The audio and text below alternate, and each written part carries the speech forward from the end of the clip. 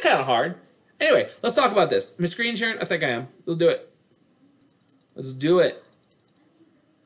Okay.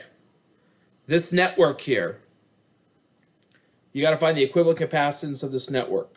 Now, what I taught to you back when we went over this is that you got to go through, when you go through the network, you work on the innermost, the innermost combo and you work your way out. So I'm going to very carefully describe what's going on here. You have a six microfarad capacitor and a nine microfarad capacitor in series with a network, right? So you have a series, that's your that's your outermost combo, a series. Six, that middle network, and the nine. Now we go to the middle network. The three microfarad and the 11 microfarad are parallel to the series combo on the right. So that's the second level. And then we have to deal with the series combo, which is the third and innermost level. The 12 and the 6 need to combine as a series. When you combine the 12 and the 6, you get an equivalent 4. Then you combine the 3, 11, and the 4 as a parallel configuration. You add them up, you get an 18. Then you deal with the final series configuration, the 6, the 18, and the 9. You add the inverses up, take the inverse, you get a 3 microfarad capacitor. So that's the idea of how you approach that problem. Okay, there are three combos here, three combos. Now, let me tell you what some people mess up here. Some people want to do this. Some people want to take the 311 and the 12 and say, ooh, that looks like it's all in parallel. Let's combine these together. But you can't do that because the capacitors need to be individual. The 3 is by itself, the 11 is by itself, but the 12 is not by itself. 12 has something going on with that. The 6 are not connected to the other two. So you can't combine the 3 and 11 and the 12 together. Similarly, similar, similar, similarly, similarly, you can't combine the 6 and the 11 and the and the 9 outright. Because of the same deal, the 11 is not by itself. It exists in a combo with other things. So that's what you're trying to do there. Is that. Okay. Great. Let's move on to number three. Number three. What are the charge on and the potential difference across each capacitor? Excellent question. Fantastic question. Fun question. Right? So, what we what do we have here? We have the first layer is a series configuration. The 2 microfarad is in series with the parallel combo. So then we go one level down and we get the parallel combo. We combine that together, which would be, I don't know, 16 or something, right? Because they're parallel, you add it up. And then you deal with the final one, which is the series, and you do the additive inverses, take the inverse of that. We end up with a nice 16 over 9 microfarad equivalent capacitance. Now, notice how I drew pictures. I drew the original circuit, then I redrew it after I did the innermost combo, and then I redrew it a third time once I had the equivalent. Now, that's a nice thing to do. The reason why it's a nice thing to do is because when you're asked to find the charge and the potential difference, you then work backwards. We now know, we know that this capacitor on the far right here is at 9 volts because it's connected to the battery. We've already determined its uh, equivalent capacitance, and so then you just need to figure out what the charge is you use your capacitor equation to do that. Now that we have that charge, now we walk backwards to the second one. Because of the series configuration, these capacitors have the same charge as the equivalent one did. Great. We know their capacitances, we know their, their charges, and then you work out what their voltages are. and they go proportionally. If you notice, we have a 16 here and a 2 on the bottom. That's a 1 to 8 ratio. So guess what your voltages are going to be? A 1 to 8 ratio. Okay, 1 to 8 ratio there. So um, the one up top with the larger capacitance, because look, at the relationship between the capacitance and the voltage is there's an inverse relationship there. So that means the one with the larger capacitance will have the smallest voltage. That will be the one. This one uh, at the bottom here will be an 8. Okay, now we go back to the final picture, and we know that the capacitances at the top here, right, have 8 volts. Uh, sorry, 1 volt. I didn't mean it. 1 volt on them because they're in parallel. They, they share that. They don't share the voltage. They have the same voltage, right? And so with the 1 volt that you have here, you then use the capacitor equation again to determine the amount of charge on them because the amount of charge that we got way back here for the for the equivalent 12 one, not it says 12, it says why does it say 12 there? It shouldn't say 12. But the equivalent over here, oh, it's because I it's the equivalent of one and two. It's not it's not meant to be 12. That was confusing. Uh, and then these the charges on these two are going to be shared. They're going to share the charge that's on the equivalent one. Excellent. Okay, so I'm not going to go through the, the the fourth one here a lot just because it's long and everything. And you and I'm going to encourage you to get in my webpage there and check a solution. But what I did is this.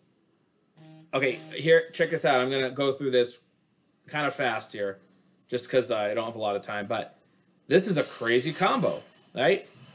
The innermost combo is a series configuration. The three C1s on the right, that's the innermost stuff. That gets combined, which is in parallel with C2. That's in series with the C1s on top and bottom, which is in parallel to the C2, which is now in series to the C1s on top and bottom again. So what I did is I every time I combined a combo, I read you the picture, read you the picture, read you the picture, read you the picture, read you the picture. And once I determine the voltage and the charge on this bad boy right here, I walk backwards and I fill out all the information in each step until I get to where I need to. And then I, I need to get back to CD. At that point, you're done. You can keep going if you want to, but, but that's the idea. Okay, so that's all I'm going to say about these because I don't have a ton of time. The ideas we developed on Monday was uh, electron current, which is our more modern perspective on how current works. Unfortunately, as I've previously mentioned, the standard convention for how we deal with current is a very old system that was far before the knowledge of electrons and atoms existed. And because it's in such widespread use and it's so commonplace in all throughout, you know, science, we still use it today, unfortunately. What's different is that instead of talking about an electron current, we talk about um, we talk about a charge current. So we are dealing with instead of electron current, number of electrons per second, we're dealing with charge current, which is coulombs per second. Coulombs per second. Now, we don't call it charge current though. We just call it current. Okay. And unfortunately, the way the convention works, it's the flow of positive charge. It's the flow of positive charge. And so Mr. Benjamin Franklin, who apparently is the person who developed the ideas of, of using positive and negative, well, he put the positives on the positives. He should have put the positives on the negatives because then everything would mesh up. But he didn't. So we're all suffering from that. Yes, I am recording right now. Okay. So the definition of current, which is given by a capital I, is the rate of change of charge per time. It's a rate. It's a derivative, fundamentally, a derivative. And so this can be applied in a lot of different ways. When we talk about, you know, a wire, for example, this is the rate at which charge moves through a particular cross-sectional area, for example. You could say that. We do have a special unit for current, uh, this definition yields coulombs per second, and we have a name for that. It is called the ampere, after Fred Ampere, the very famous mathematician from the 1980s. No, I'm just joking. His name's not Fred. I don't know what his name is. Charles, probably. That's an old name. Frederick, that's an old name. Ampere sounds French, so Jacques. Let's go with the Jacques Ampere. Jacques Ampere did something in physics. I don't. I actually, sorry, I don't even know what he did. Uh, I'm not up on my physics history as it when it goes back like two or three hundred years. I just, I like the more recent stuff anyway. Uh, it's given by an A. Okay. Uh, and that's uh, that we usually refer to this as an amp. Amp? Now there is a relationship between these two quantities, right? If we have numbers of electrons per second, well, it's very easy to convert that to charge by multiplying by the fundamental charge. So there is a relationship. I is equal to E times lowercase i. So all the equations that we previously developed for electron current now work perfectly fine. We just multiply them by E and boom, there we go. We got our charge current. The one thing to be aware of though is that charge current travels in the opposite direction though. All right, so question for you here off the bat. Every minute, 120 coulombs of charge flow through this cross-sectional layer of the wire. What would the current be? What would the current be? Okay, so the answer is D. Two Jacques Amperes. Two Jacques Amperes. His name is actually Andre Marie Ampere. Andre Ampere. So, Andre, two Andres. He's got two Andres in here. Good for him. All right.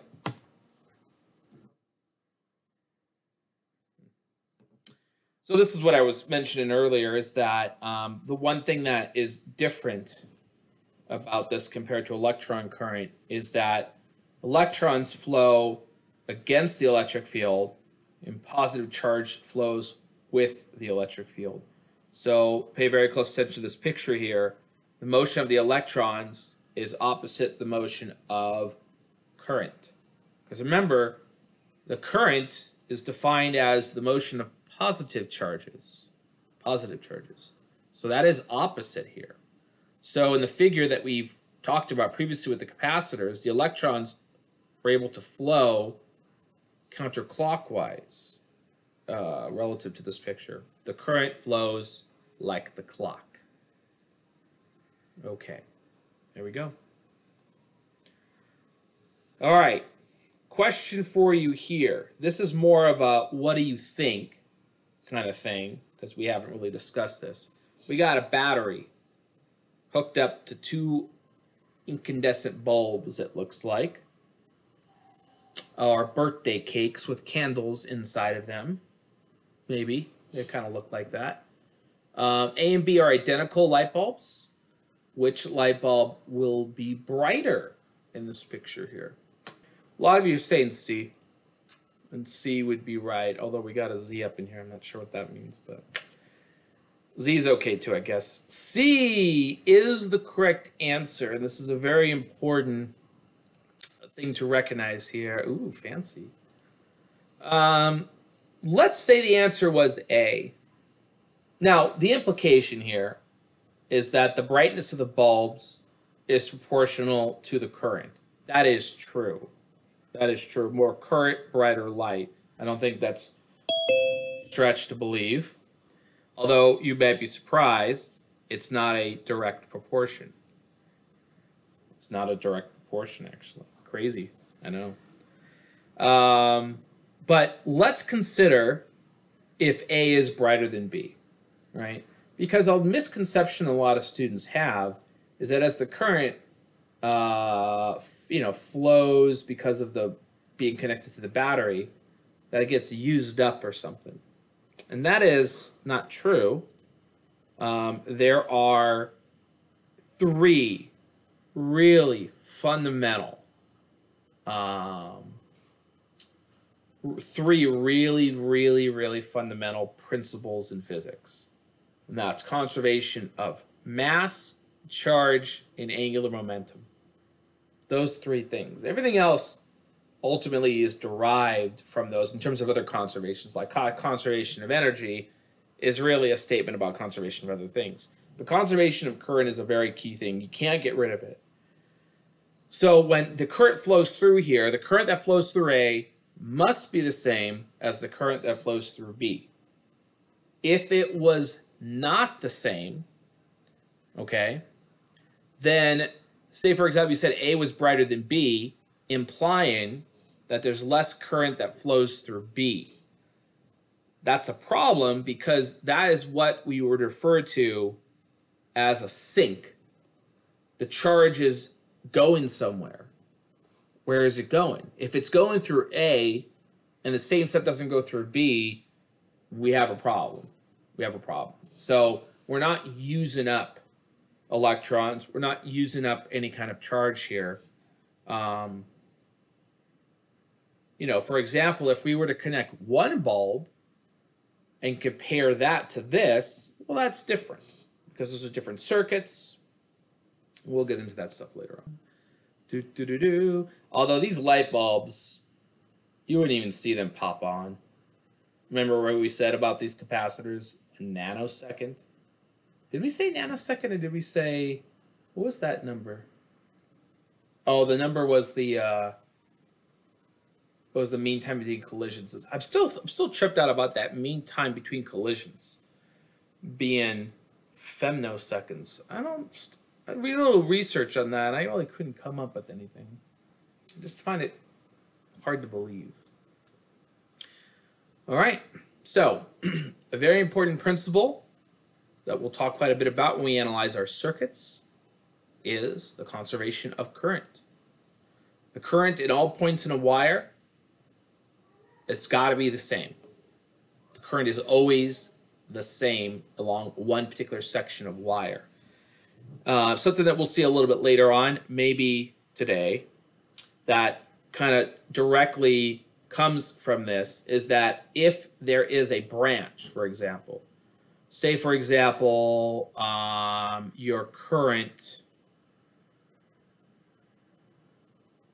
let me see here, let's make it like that. Yeah. Say for example, you got a branch that goes out this way and then a branch that goes out this way. So the current comes in, the wire splits. Well, the, well, the current that comes in and the currents that leave here, you know, they got to ultimately add up, you know, to be the same, right? Because, I mean, if, if you had more current or less current coming out of the branches here, then the conservation of current's not being applied. So we would say that I equals I don't know, like I1 plus I2. Where this is 1 and that's 2, you know, something like that. Okay. Oh, we have another concept here called current density. Now, the word density, you know, uh, is always some sort of per unit distance or distances. Doesn't always have to be volume, by the way, right? Because you saw linear charge densities and surface densities and things like that. So in the context here, we're interested in how electrons flow through a wire. So we're interested in a cross-sectional area. And so J is the current density, which is defined as I over A. Okay. Now this quantity can be different in different sections of a wire because you can vary A. You can't vary I, but A can vary, right? And so what we have here, just to be clear about what we're doing here, because you see this equation, you're like, well, what, is, what is going on here? How do we get this? Well, remember we talked about before that the electron current is given as NE VD times A. That's what we did last week. Well, if I'm going to include, if I'm going to change the current here, the electron current to charge current, I'll need to multiply by an E. So if I multiply both sides of this equation by the fundamental charge, the left side becomes an I, and then the right side has an extra um, fundamental charge in there, divide this by A, and that's what J is equal to. So the electron current is a nice quantity because it's independent of the size of the wire. It's still a material dependent quantity, but it's sometimes nicer to talk about that because it doesn't depend on the cross section. Okay. It's a per unit cross section, you know. Excellent. Excellent. Let's keep going.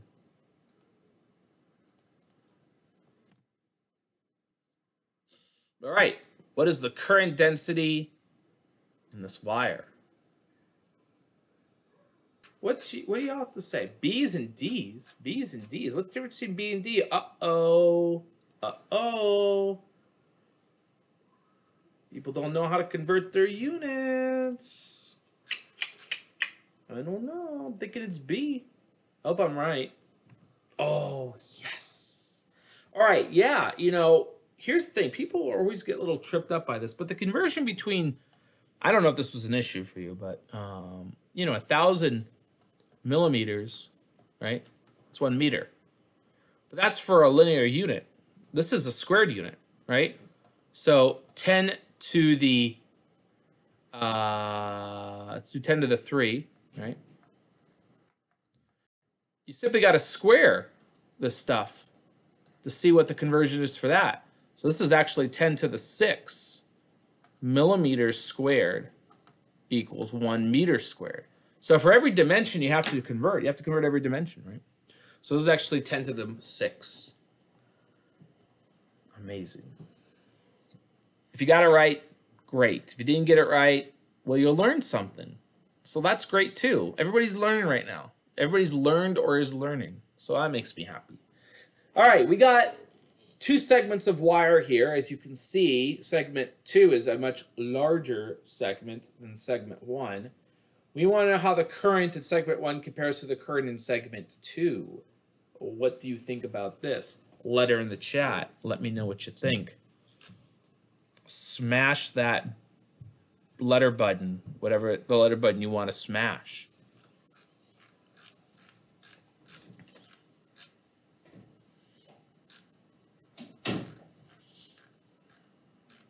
So everybody's saying B. Everybody's saying B. Hmm. I don't know if I agree with B.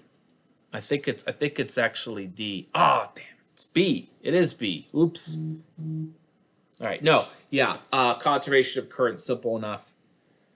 Yeah, whatever current goes in the one, the same has to go in two. Again, the argument is if it's not equal, we have a source or a sink. A source or a sink. And we don't want sources or sinks when we have conservation.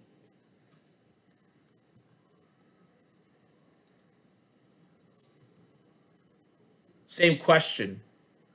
What's up with the current density, however? Let me know what you think about this letter in the chat. A's, huh? Fantastic, right?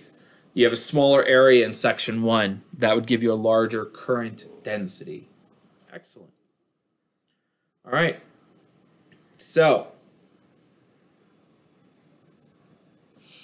what we want to do now is the following.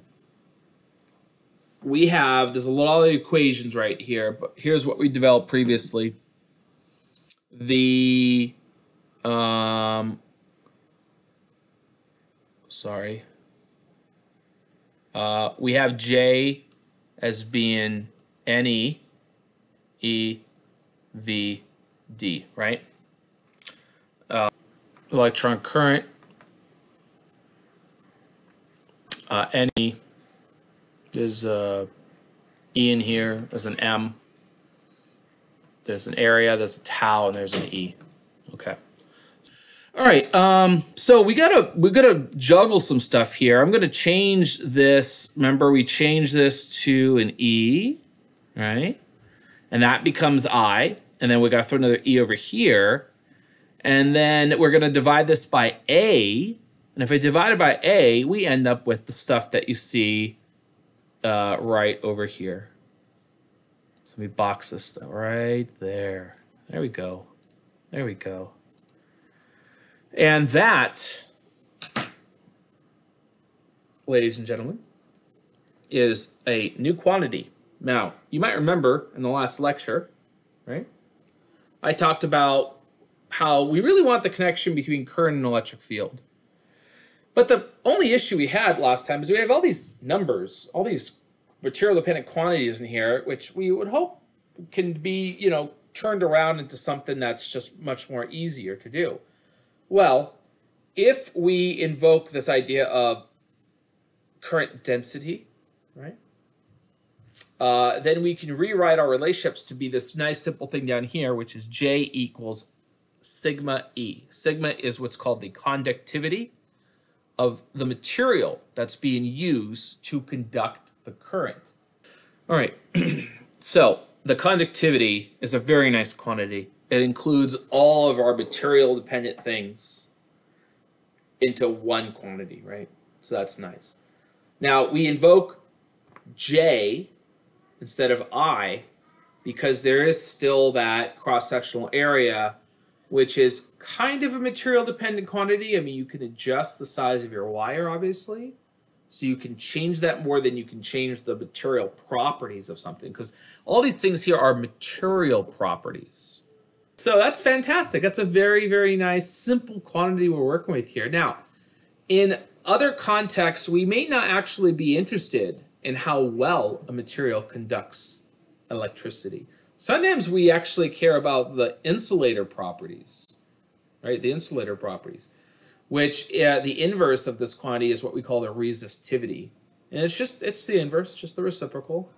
And um, this, this is a useful quantity if we want to know how poorly something conducts electricity, right? We don't make wires out of styrofoam because its resistivity is uh, crazy high I believe is the is the SI prefix. Crazy high. Very high. Okay. Let's get rid of these annotations here. Yeah, there's some there's some fire going on, man. There's a lot of smoke out there.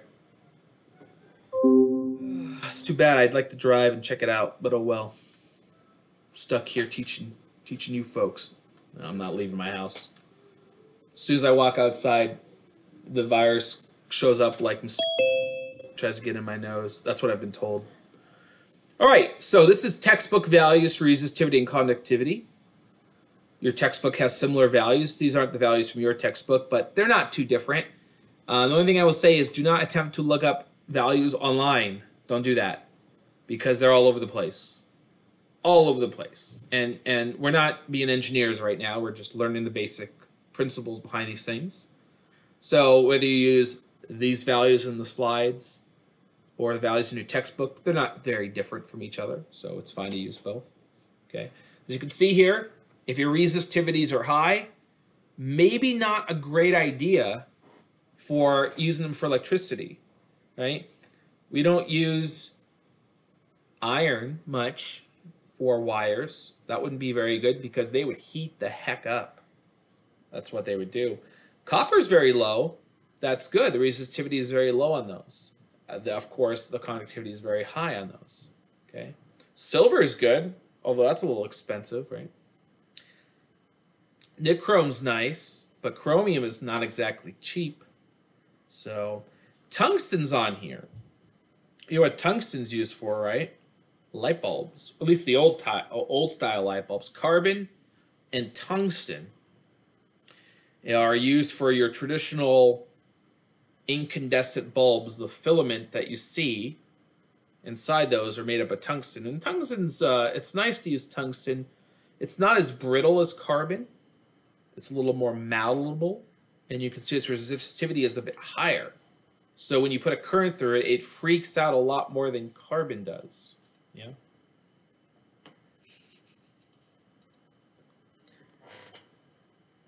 Okay, question for you here. I really need my water, so I'm going to leave you to read this, and I'll be back in one minute. 10 people. Come on. Don't be lazy, everybody. Get some letters in here. Put down the video game. Wake up. Turn off Netflix. Get some letters up in here. The answer is A. Why? Because when we answered this for J, it was A. And they're directly related to each other. So this is interesting because our electric field, right, is going to change in the different areas because the areas are different. Electric field's are going to change. That's strange, actually. It seems strange, at least, uh, because the current is constant, but the electric field changes. It seems weird, but um, that is correct. Okay. All right, let's do it. Millimeter diameter wire. Darn it! Keep they keep doing this to us. We don't want millimeters. We don't want diameters. 1.5 times 10 to the minus 3 uh, meters for a radius. Now I read the rest of the problem. Wire carries 12 amps. That's big. 12 amps, pretty big. When the electrical field is 0.085, what's the wire's resistivity? All right, this is pretty straightforward stuff. Uh, if you want to use resistivity, we use J equals E over All right. Solve for, well, we got to put J, we don't have J, right? We got to put that in terms of current and area. We solve for rho, we get A E over I. We put our numbers in. We get 5 times 10 to the minus 8, I believe that says. I'm sorry, it's so small. 10 to the minus 6, 10 to the minus 2, that works out. That does work out. So 10 to the minus 5 times 10 to the minus 8. Now, look at these units here. Ohms times meters. Now, you're looking at saying, what is that? What's the, what, what's the, what's the ohms here? Well, I'll tell you later. Okay. Just, just know it. It's the thing right now. And I say later, I mean like, give me 15 minutes. A 0.5 millimeter diameter silver wire. Uh-oh, we don't want that. 2.5 times 10 to the minus 4 meters. Silver wire. Ah, you're told the material. Okay, you got to keep that in mind. When you see the material, you go back to your figures. All right? Uh, to your tables and look up the value. We got a little tiny current, little tiny 20 milliamp current. What is the electric field and electron drift speed? Ooh, we got to go back a bit here. Electric field, let's see here we can get the electric field from the current density because we have that. And we have that, it's silver, so we know what our conductivity or resistivity is. And so I put that stuff together here. Uh, the electron, sorry, the uh, current density is I over A. We can solve this for um, E. So we got a current on top. I have to look up my value for the conductivity of silver, 6.2 times 10 to the 7. It's pretty high put in our area. 1.6 times 10 minus 3 is our electric field. And then for the electron drift speed, we're going to have to go back a bit to our old equations. And this equation, we have our electron uh, current equation, which you can turn into the charge current by multiplying both sides by E. And we know all that stuff. So we solve for VD, and we get a drift speed of, uh oh I can't read it. Can't read it because Adobe's in the way. 1.1 times 10 to the minus 5. Very slow. Very, very slow. All right. So, you know, these problems here, not too challenging to be honest. I mean, the, the, there's kind of three things to keep in mind here. You know, when you're dealing with your areas, use radius, right? Use meters. Don't be a weirdo when you use the diameter formula. Um, keep in mind of the material being used. Right? And um, you have a lot of little equations. Just you have to make sure you juggle all those equations appropriately. So a lot of things to keep in mind. A lot of equations. Excellent. Excellent. Let's keep going. Uh, I mentioned this a little earlier in the lecture. This directly comes from conservation of current. But if we have a junction, that's what I meant to say earlier. I didn't say that um, then the currents going in must equal the currents going out. Again, if this was not true, conservation of current would not exist. Question for you here. Current in the fourth wire is what? What do we got? Two going in, five going in. So we got seven in. We got nine out. Well, we got to have another two in. Two to the left, got to be D. It's got to be D. It is D. Excellent. Okay. No, there's definitely smoke out there. There's smoke. Although although the smoke is blowing to the west, that's kind of not normal, is it? There's like no wind out there too. Something's weird. I must be asleep right now, which would really make me mad because I have to teach this class again. That's one thing I hate about dreams. I wake up and I'm like, I gotta do that all over again. All right. So the figure here. Now, here's what we're trying to do to, to wrap this up. We're trying to make. We got our electric field stuff, and we're very happy with our electric field. We're very pleased that we have an electric field to work with. However, we've spent a long time. We spent a long time um, developing this idea of potential because it's really the most practical thing we deal with here. So we want to connect this, these ideas up to potential. So the electric field that is established inside the wire that can be expressed as a uh, in terms of potential, the change in the potential uh, divided by a, a, a, distance across which the potential exists is what our electric field is. So if we consider a, a section of wire, right, a section of wire, uh, then that's going to be given by delta V over L. Now you say, well, wait a minute, something silly, something's a little silly about this relationship here. There's no negative sign. Okay, fine, there's no negative sign, but negative signs really only there to indicate direction or drop in potential. And uh, the conventions that we usually develop for this stuff, um, that's built into the delta V. It's built into the delta V. So we don't put a negative sign on front here. I know that's confusing. We should just have it there. Trust me, when we start analyzing circuits, it's better to just consider delta V being positive or negative based on what's going on in your circuit, you know. And then you say, well, wasn't this supposed to be an integral? That's true. It was an integral. However, um, the electric field that's established inside here is is a basically a constant. It is a constant. It doesn't doesn't change. So the integral does just turn into this really simple differential, or you can rewrite it as a simple differential, I should say. Right. So um, we can rewrite what our electric field is in terms of the things we know, right? Uh, J is I over A which is also equal to E over P, P being the resistivity. We uh, combine these relationships together and we end up with this quantity at the bottom here. Now we've spent a lot of Monday and a lot of today to really do, well, to do a lot of things, right? I mean, you know, I'm teaching you about the fundamentals of what it means for a current to exist.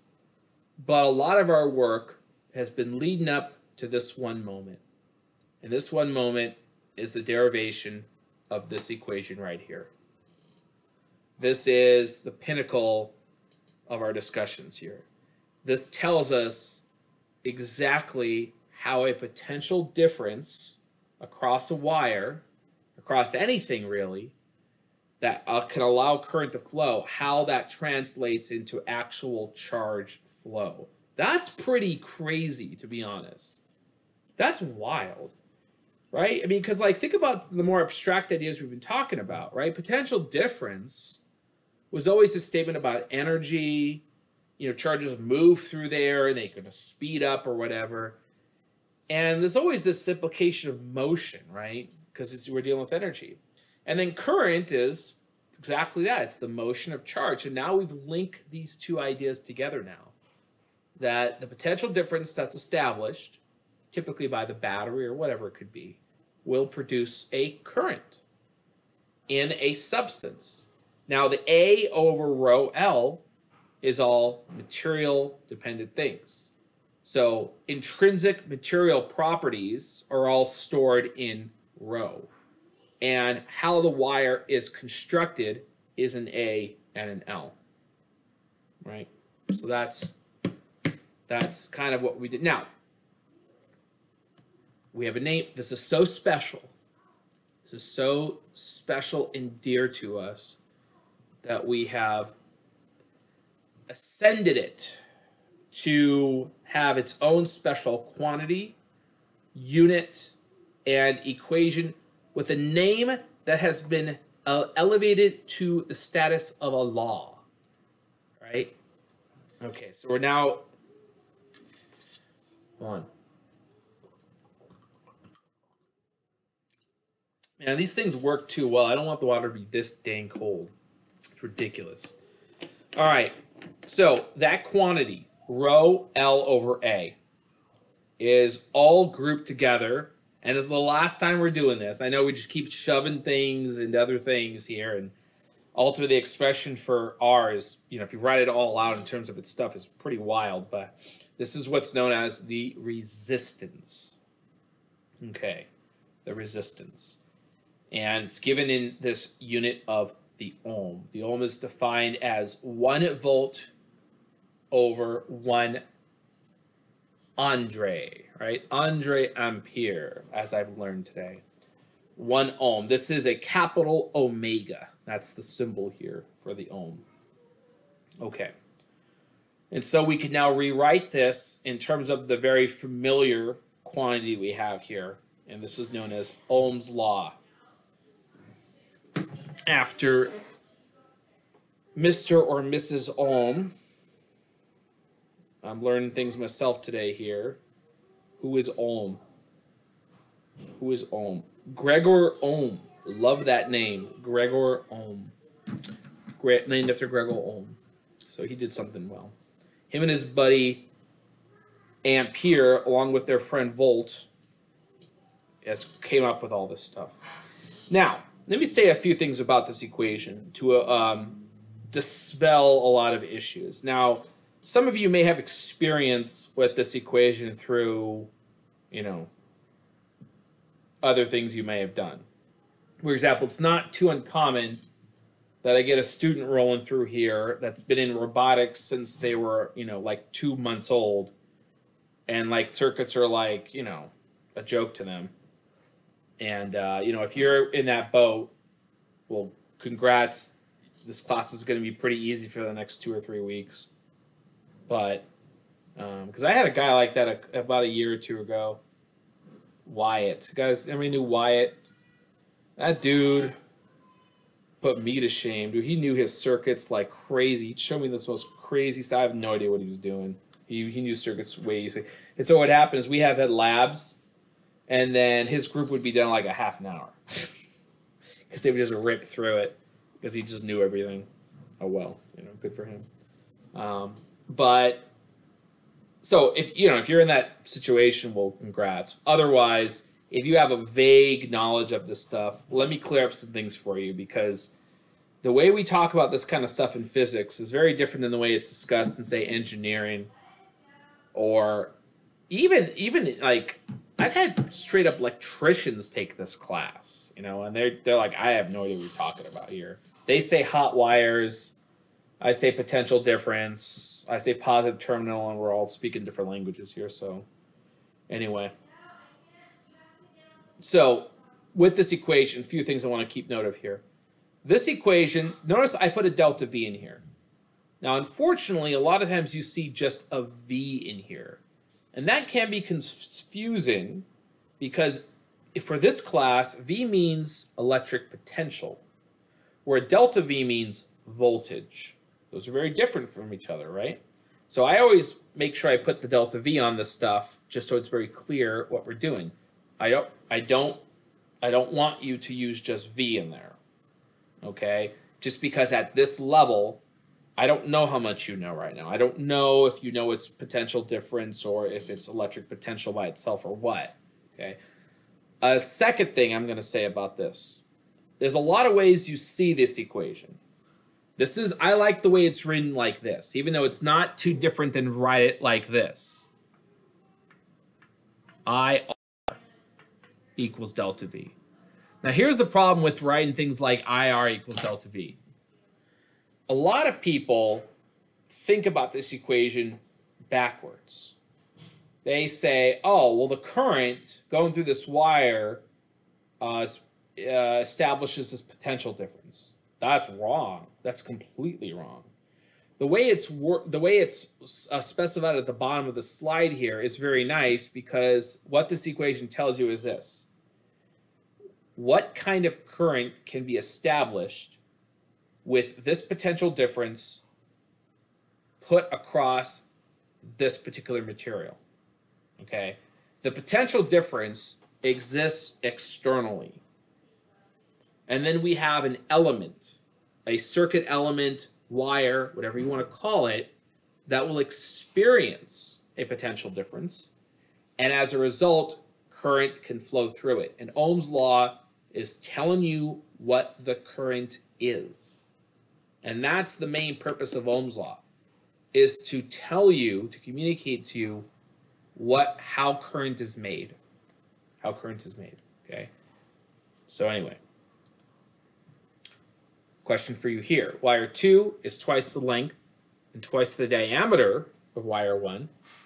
What is the ratio of their resistances? What's the ratio of their resistances? Okay, so you may want to remember this quantity here. I'll rewrite it. Right down here are rho L over A. Look at that rho. That's a great rho. I'm very pleased with that rho. It's got a little, little, uh, the tail of it's a little funny, but it's an okay rho. It's B. Now, let's talk about this in two ways. Mathematically, it's B, right? Because mathematically, here's what we're working with here. You got wire 2, which is rho 2L over,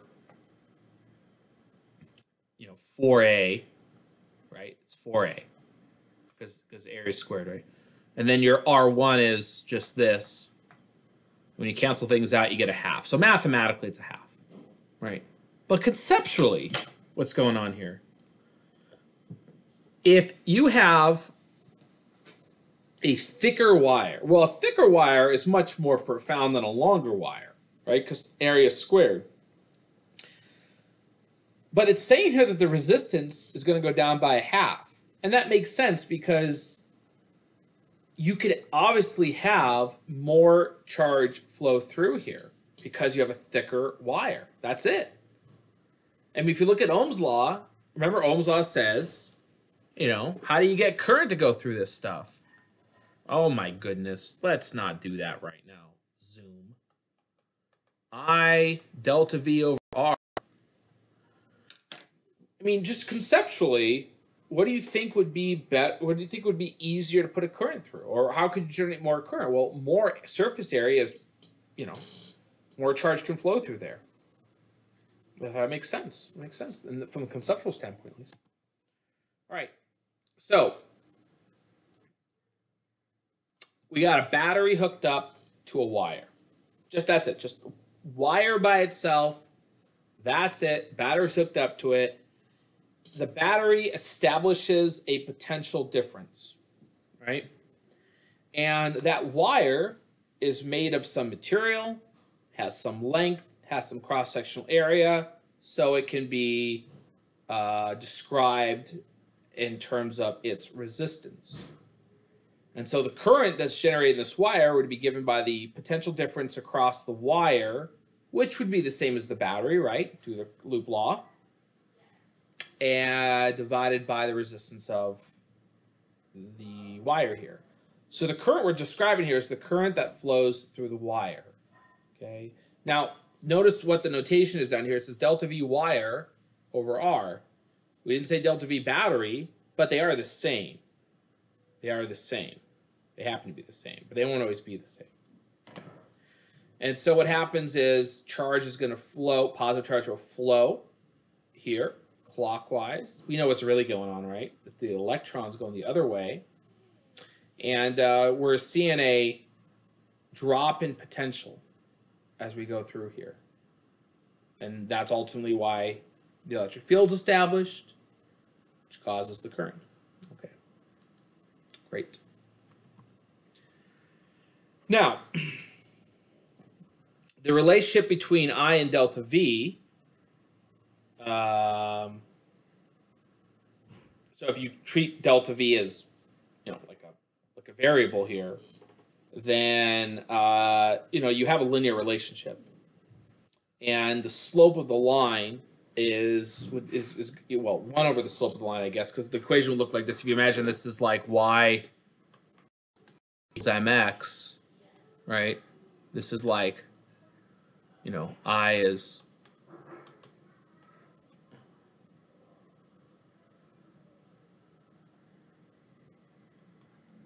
oh. So the slope is 1 over r. And anything, any kind of substance that does have its current linearly increase with potential like this is referred to as uh, ohmic. The material's ohmic. Um, because this doesn't always happen. This is what we came up with, assuming that, you know, everything works the way it's supposed to. But things that are non-ohmic are simply things that do not obey this relationship. Now, what things wouldn't obey this relationship? Well, if you heat up a wire a lot, right? What happens to a wire if it heats up a lot? Well, it could increase in size, right, due to thermal expansion. That would change the value of R. And so it wouldn't be linear anymore. Um, I mean, you could have really wild things happen. What if you heat up your copper wire and it starts to melt? Well, that's not going to be ohmic anymore. So it's a it's a it's kind of a mild point here, but you know this isn't this is this this is a law under the circumstances by which it's obeyed. If you have really extreme conditions, right? If you heat up something a lot, if your current gets extremely high, eh, then you might get some non-ohmic behavior. It's true of everything, you know. All right. What are we doing on time? Little crunch, a little bit of a time crunch. I'll get through it though. Current through a wire is measured as the potential difference is varied. What is the wire's resistance? What is the resistance here? Uh, don't put a letter in. This is pretty simple. I, I want to get through the rest of this. So the slope of this line looks like to be 50. So the inverse of the slope would be 0.02. The answer is B. Great. All right, now, what is typically more interesting for us is not our wire. Having a wire hooked up to a battery by itself is not very helpful. Because wires, generally speaking, don't have a ton of resistance. We don't want them to have a ton of resistance. We want to be able to pull a lot of energy. We want to be able to pull a lot of current from our battery. So the wires are usually made in such a way they don't do that. What happens is we have circuit elements that provide a greater resistance. They have a job to perform. Could be a light bulb or something like that. And those elements have usually a much larger resistance than the wires itself. So here we would consider, you know, what's the potential drop across the resistor. In fact, if I had a resistor, now the resistor is just a general term to describe anything that establishes a significant potential difference across it. I mean, you could we have devices that are that strictly do that. That that they don't have any job other than just produce a resistance, and those are more specifically what resistors are. But anything that draws power uh, is going to be a resistor, a light bulb, right? That's technically a resistor. So what happens is you kind of have a series configuration here. You got the wire on top, you got resistor, and you got your wire on the bottom right? So that's a series configuration there. So there'd be a little bit of drop across the wire, then a huge drop across the resistor, and then the rest of it's a drop across the wire. We loop back around, we get a delta V of zero. That is true. However, we are going to be working with ideal wires. And the ideal wires are simply the assumption that the wires have no resistance to them. And so there isn't any significant potential drop across them. So it's just the resistor is basically taking all of that potential difference. It's not a realistic situation, but the amount of resistance that wires actually have is incredibly small. And making an ideal wire approximation is valid. Very valid, by the way. All right. Well, somehow I did finish this stuff up on time. Let's go ahead and do these last questions here before I done. The electric field inside a 30 centimeter long copper wire is 5 millivolts per meter. What's the potential difference between the ends of the wire? Well, again, you're juggling a lot of equations here. We want to find potential difference. We got to just dig through all those equations and find the one that contains the parameters that we know. We know the electric field here, and we know the distance, the length of the copper wire. So this is a pretty straightforward problem, actually. E equals delta V over L. Solve for delta V. Make sure you put things in meters. That is millivolts, so it gets a 10 to the minus 3 on there, and we got our answer. Uh, the other one is a 10 meter long wire with a diameter 0.8 millimeters. Therefore, it has a radius of 4 times 10 to the minus 4 meters. Has a resistance of 1.1 ohms. What is the material made of? What you're going to want to do here is solve for some quantity that exists in the tables that we've seen so far. And I decided to go with the one that had resistivity in it. I could have done a lot of things, but that seemed to be the most direct way to go about it. You could look up conductivity. I mean, you could look up electron density, I suppose. That would be kind of a pain in the butt, but you could do that. In fact, could you really do that? I don't think you can here. We don't have enough information, I think. No, we do. Do we? No, you don't, because you need to know drift speed. And you know, like, no, so that wouldn't work anyway. This is, I think, is the only one that actually works. Put your numbers through here. We get a 5.5 times 10 to the minus 8, which is most closely resembles tungsten tungsten, capital W on the periodic table.